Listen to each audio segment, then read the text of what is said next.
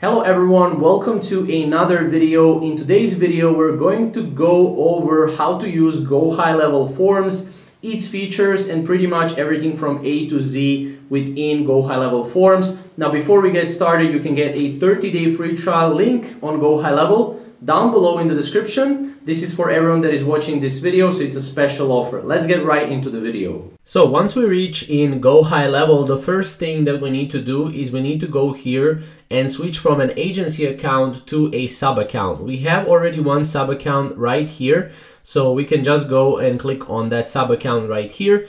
Now, once we reach that sub account, uh, what we can do is we can go to sites and from sites here you have forms. So on the forms, what we have is we basically have builder, analyze, and submissions. So builder is obviously just a form builder. Analyze, here you can analyze all your forms and records uh, that you found within the form.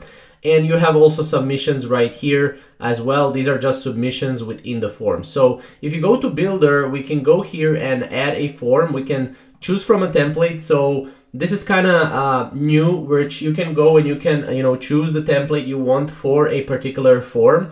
So this is something that go high level um, you know recently updated and they're updating more and more templates as the time passes. So this is something that you can use. You also have the here uh, you know shared with me templates my templates. Not only that but you have browse categories. So you can uh, browse categories within health and wellness for example business coaching and consulting and you have a lot of different things right here that you can uh, start with. However, I'll just go here and start from scratch and I'll just, uh, you know, show you how you can use the forms. So if we start from scratch here, oops, this is a glitch.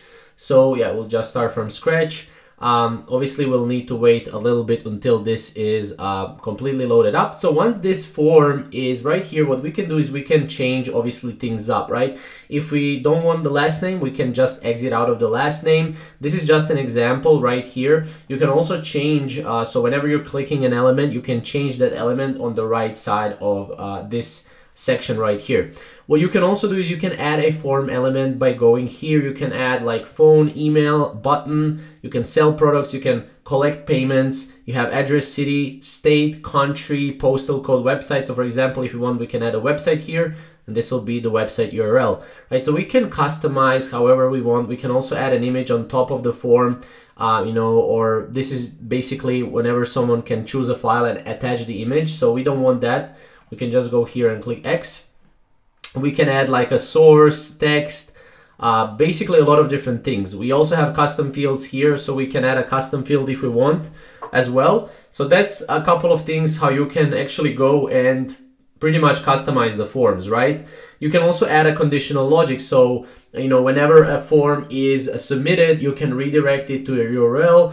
Whenever a form is submitted, you can display custom message, disqualify the lead if uh, there is a certain answer in the form. You can show and hide fields as well. So that's also something that you can do uh, too. So uh, obviously, yeah, if you click on the first name, you can, um, you know, change the label, the, uh, the input, the query key. You can also go to the email. You can change this as well. Um, for example, this right here, consent. For example, you can change this to say like this, I consent to receive SMS notifications. So you can also change that. You can change the uh, link, how it looks like. So we can change it to be, you know, uh, purple, for example. So whenever we click here, it will be purple. So that's something that we can do. Uh, if we click on the button, we can change the color of the button as well. So for example, if we want, we can change it to blue. Uh, also, the, the subtext or the text here, free download, we can put free download, for example, right? Um, so we can play around with this, right? So if you're done, you can also go to preview here. So if we save this, obviously it's saving, we can go to the preview and this is how it's going to look like right here. So as you can see, it looks really clean. So that's one thing. The second thing that you can do is you can integrate this with other uh, features in Go High Level. So if we integrate this, we can integrate this as a sticky sidebar on a website. We can integrate this as polite slide-in, pop-up, or inline.